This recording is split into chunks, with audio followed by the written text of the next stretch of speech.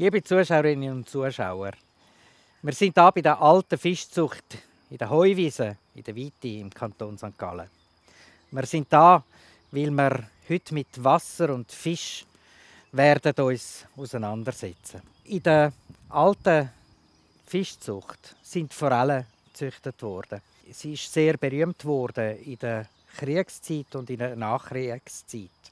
Später in den 50er Jahren sind sogar Campierer von überall aus Europa gekommen. So gut war das Essen bei der Wirtin. Und nach einer gewissen Zeit, wo dann die Familie Amann das aufgegeben hat, sind einige Jahre vergangen, bis es heute wieder nach der Renaturierung zu einem neuen Treffpunkt geworden ist, wo wir heute uns befinden. Grosser Gott, mitten in dieser Natur, bei dem Wasser und bei dem Leben, sind wir versammelt. Wir bitten dich, schenke uns die Weisheit, die wir brauchen, die Geduld, die wir brauchen und den Mut, den wir brauchen, um einen guten Fischfang zu machen in uns selber. Wir suchen in unserer Seele und wir suchen unsere Göttlichkeit. Das, was an Gutem, an Schöpferischem in uns inne ist. Wir bitten dich, mach du, dass deine Worte nicht umsonst sind, nicht an uns vorbeigehen, sondern dass es einen Prozess auslöst, wo wir Leben daraus schöpfen können. Amen.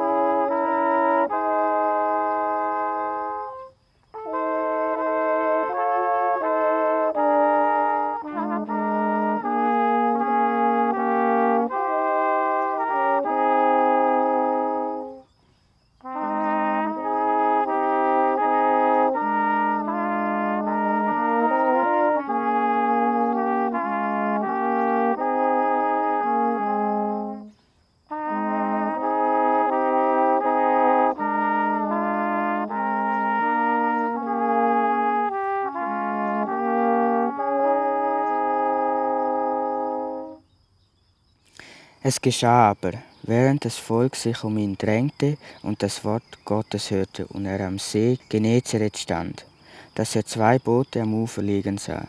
Die Fischer waren ausgestiegen und wuschen die Netze. Da stieg er in eines der Boote, das Simon gehörte, und bat ihn ein wenig von Land wegzufahren. Dann setzte er sich und leerte die Menge vom Boot aus. Als er aufgehört hat zu reden, sagte er zu Simon, fahr hinaus ins Tiefe und werft eure Netze zum Fangen aus. Und Simon entgegnete, Meister, die ganze Nacht hindurch haben wir gearbeitet und nichts gefangen. Aber auf dein Wort hin will ich die Netze auswerfen. Das taten sie und fingen eine große Menge Fische. Ihre Netze aber drohten zu reißen. Da wegten sie den Gefährten im anderen Boot, sie sollen kommen und mit ihnen Hand anlegen. Sie kamen und sie machten beide Boote so voll, dass sie beinahe versanken. Als Simon Petrus das sah, fiel er Jesus zu Füßen und sagte, Geh weg von mir, Herr, denn ich bin ein sündiger Mensch. Denn er und alle mit ihm erschraken über den Fang, den sie getan hatten, so auch Jakobus und Johannes, die Simons Gefährten waren. Da sagte Jesus zu Simon, fürchte dich nicht, von jetzt an wirst du Menschen fangen. Und sie brachten die Boote an Land, ließen alles zurück und folgten ihm.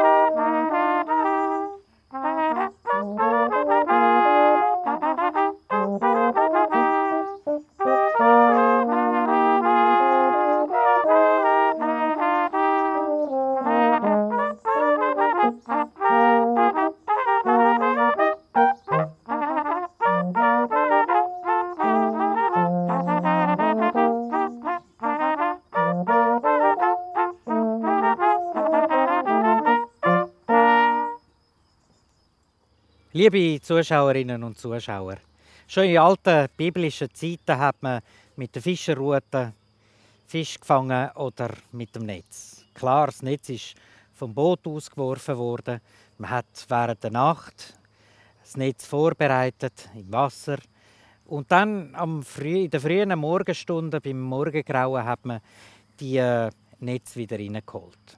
In der biblischen Szene, wo im Lukas-Evangelium im Kapitel 5 vom äh, Michael vorgelesen worden ist, heißt es, dass die Fischer mit dem Simon Petrus am Ufer gehockt sind und an ihren Netz geschaffen und Netz repariert haben und vielleicht auch noch gewaschen haben.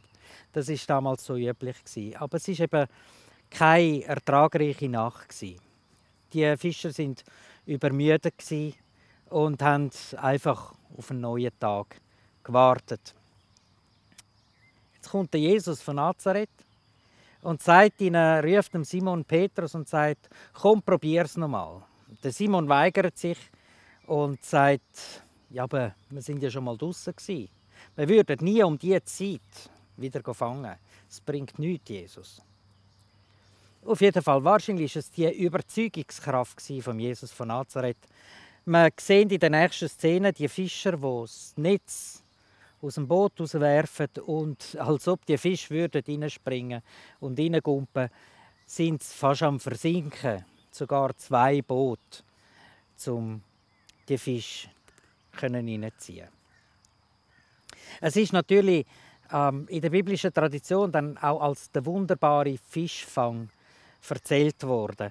Ähm, wir können uns jetzt mal fragen, ähm, ist das eigentlich eine Erzählung um zeigen, dass der Petrus, also der Simon Petrus, ähm, so eine wichtige Figur war, ähm, wo dann auf dem die ganze Kille, die ganze Missionsarbeit aufgebaut worden ist. Oder ist es einfach da gewesen, erzählt worden, sagen wir mal, um nochmal ein Wunder dazu zu fügen und Jesus von Nazareth glauben als der Messias? Ich bin immer ein bisschen skeptisch, wenn etwas zu offensichtlich ist.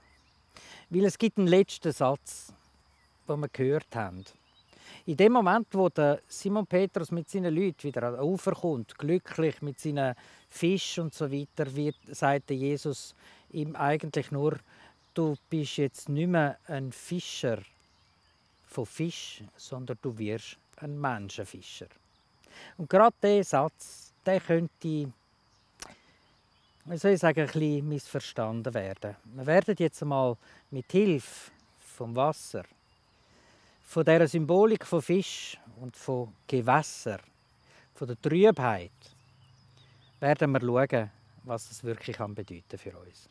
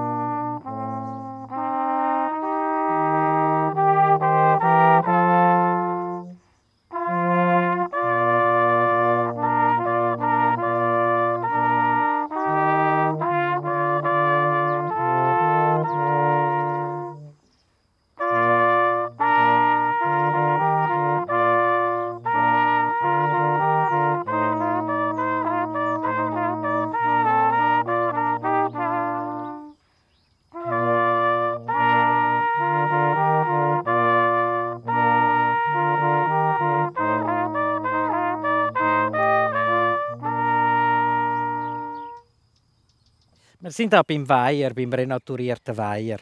Und wir sehen, das Wasser ist trüb. Und weil es Wasser ist, das lebt.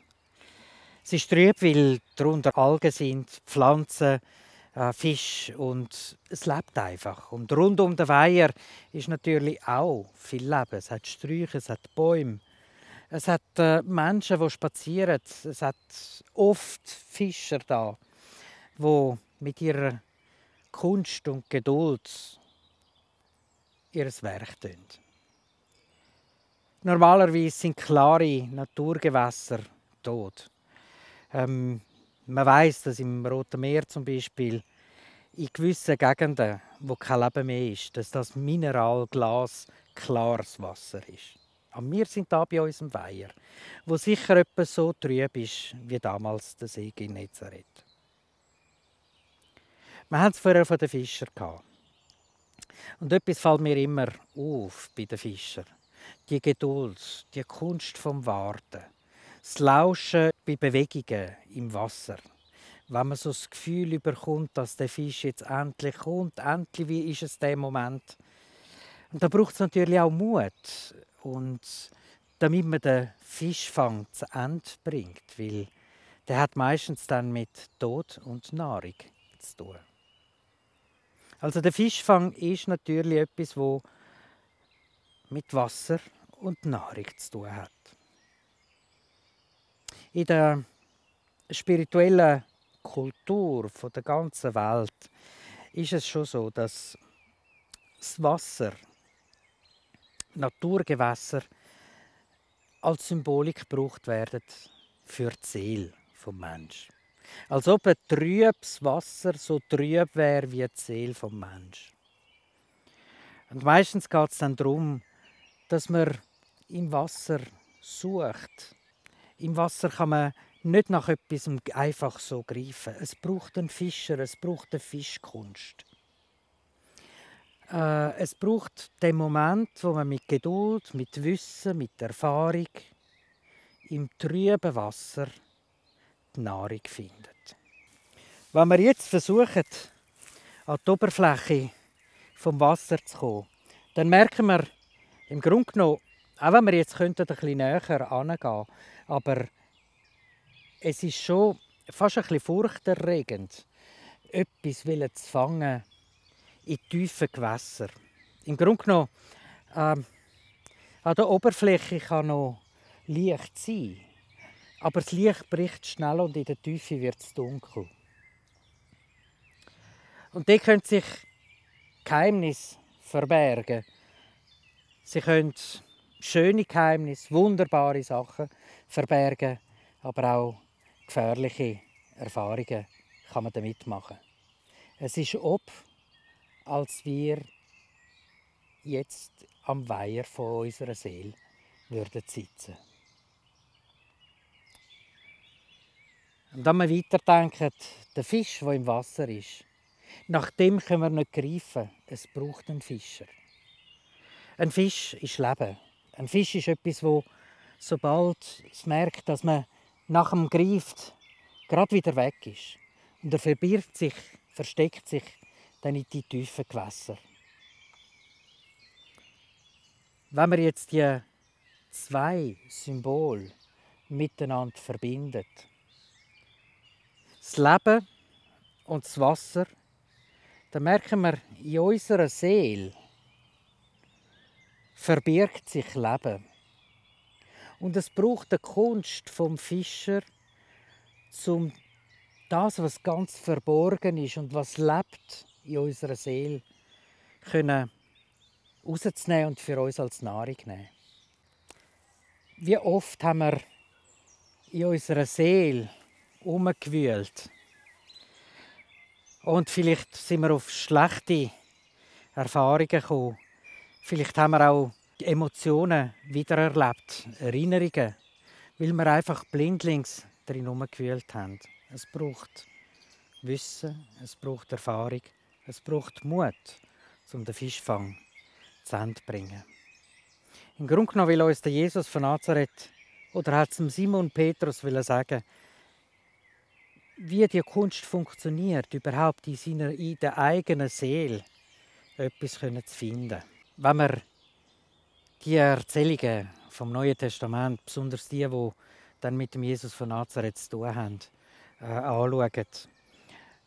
Und wenn wir nicht an der Oberfläche vom Text bleiben, sondern ein bisschen tiefer reingehen, dann merken wir sofort, dass die Kunst vom Suchen und vom Finden mit großer Ruhe gemacht werden muss.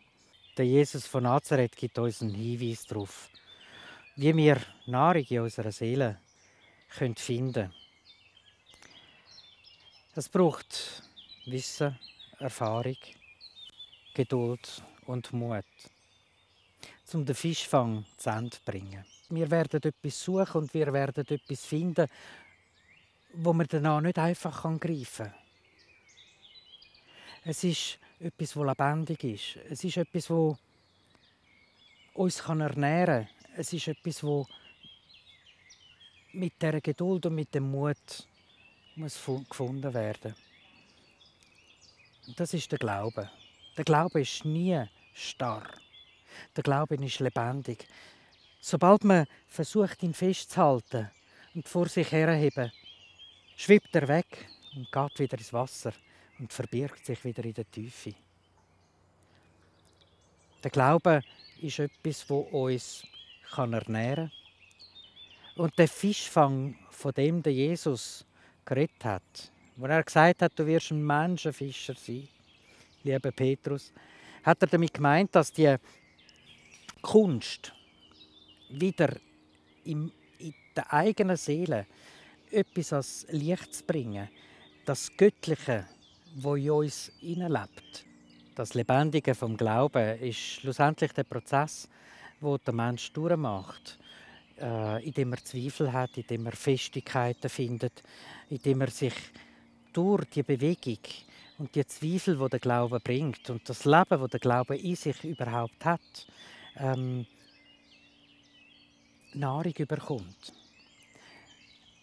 Aber man weiß nie, so wie man, wenn man fischt, weiß man nie, welchen Fisch das man fischt.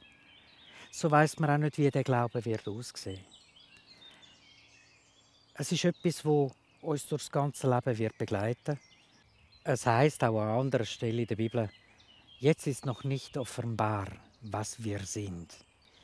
Und so wie der Fischer auch nicht weiß, welcher Fisch er fangen wird, so werden wir auch nicht wissen, wie der Glaube, wo wir haben oder wo wir werden finden, wird aussehen. Später, vielleicht im Laufe unserer Tage, können wir auf diesen wunderbaren Fischfang zurückgehen und sagen, das ist das, was uns ausgemacht hat. Die Stunde des Wartens am Weiher unserer Seele. Amen.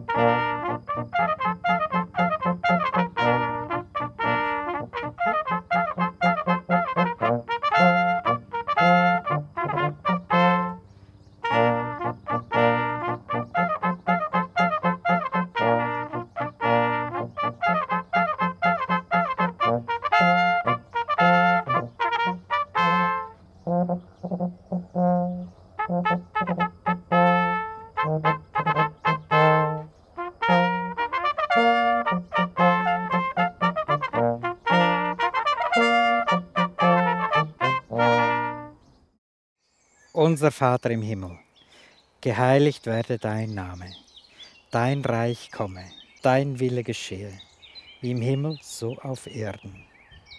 Unser tägliches Brot gib uns heute und vergib uns unsere Schuld, wie auch wir vergeben unseren Schuldigen. Und führe uns nicht in Versuchung, sondern erlöse uns von dem Bösen. Denn dein ist das Reich und die Kraft und die Herrlichkeit in Ewigkeit. Amen. Geht hin mit der Kraft von Gott, mit dem Mut und der Geduld, damit ihr in eurem Leben mal einen wunderbaren Fischfang machen könnt. Amen.